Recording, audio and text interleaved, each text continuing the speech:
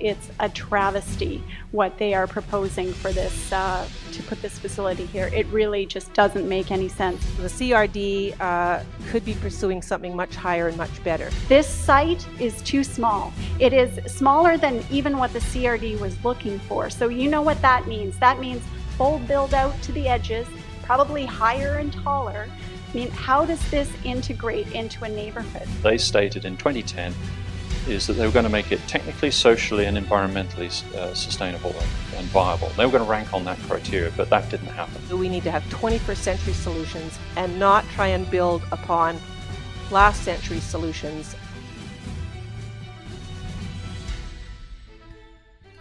What is the uh, full financial analysis? What is the business case for this? What are the full operational costs? The CRD just passed themselves a bylaw um, uh, that allows them to, to borrow another $100 million.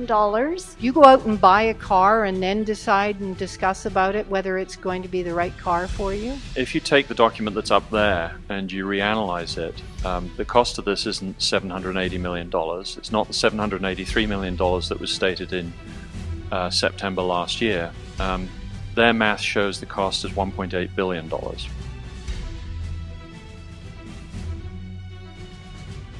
This is a bigger issue than just Esquimalt. We have not found uh, the best practice and the highest and best uh, choice. Go on the computer and look at biosolid sites. They are not in the middle of a municipality. They are not in a residential area. This topic is obviously uh, deeply concerning to both Esquimalt and Vic West. It has been a completely flawed public consultation process. What exactly are we building and where are we building it? Because it seems to me eight years into the process, we are not clear today on what we're doing or where we're doing it and what the best solutions are. This project, as far as I'm concerned, isn't going to happen.